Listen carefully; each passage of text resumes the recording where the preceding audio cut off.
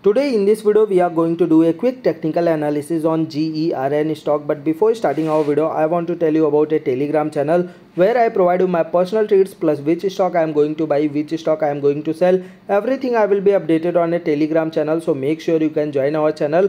Link will be given in the description box. Here you have clearly seen that GERN stock was traded near about $4.59 and if you're thinking to buy this stock at this price then I don't recommend you that you have to buy this stock at this price because it was traded near a resistance area. Those who have already bought this stock you can hold by putting your stop loss at the price of of $3 will be your stop loss price and you have to hold until this stock reaches near about $6.5 because you can clearly see that after reaching $6.5 this stock faced resistance from that level and after facing the resistance every time this stock came down as you see in a daily time frame chart. So chances are very high that this time also this stock reaches at least $6.5 then you have to book your profit. So i hope you really liked our video. If you like our video hit the subscribe button. I will meet you in next video. Till then then bye take care